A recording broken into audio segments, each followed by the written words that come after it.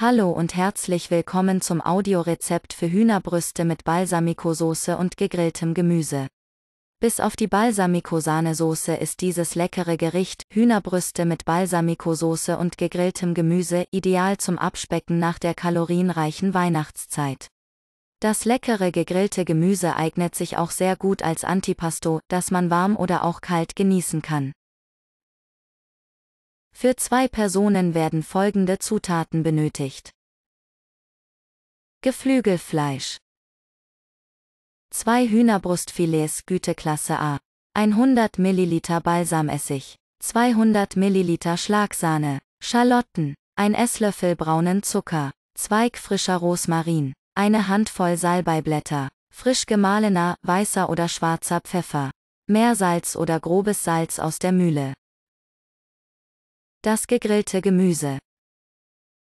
Zucchini, Fenchelknolle, Paprika, BD Frühlingszwiebeln. Folgende Utensilien werden benötigt. Topf, Pfanne, Backblech. Zubereitung.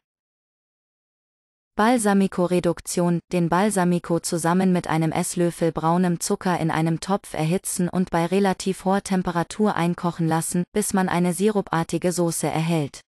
Am besten dabei ein Fenster öffnen und den Dunstabzug auf volle Pulle stellen, bei dem Vorgang entstehen beißende Essigdämpfe.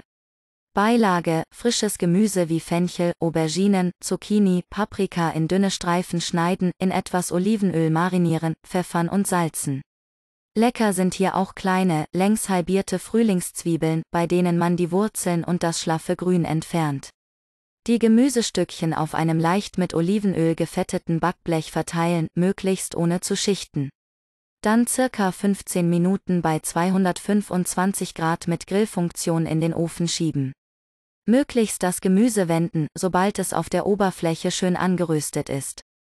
Das gegrillte Gemüse schmeckt sowohl warm frisch aus dem Ofen als auch abgekühlt. Hühnerbrüste, die Hühnerbrüste abspülen und trocken tupfen. Diese von beiden Seiten pfeffern und salzen.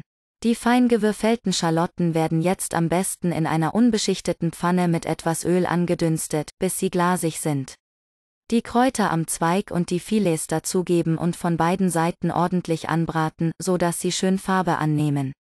Die Sahne und die Balsamico-Reduktion zu den Filets in die Pfanne geben und weitere 10 bis 15 Minuten bei schwacher Hitze köcheln lassen. Vor dem Servieren die Kräuter aus der Soße entfernen. Als Beilagen eignen sich diverse Pastasorten. Baguette, Ciabatta, Pide, Bauernbrot auf Sauerteigbasis, Weißbrot oder Toastbrot. Gedämpfter Reis, trockener Weißwein oder Mineralwasser. Viel Spaß bei der Zubereitung und guten Appetit.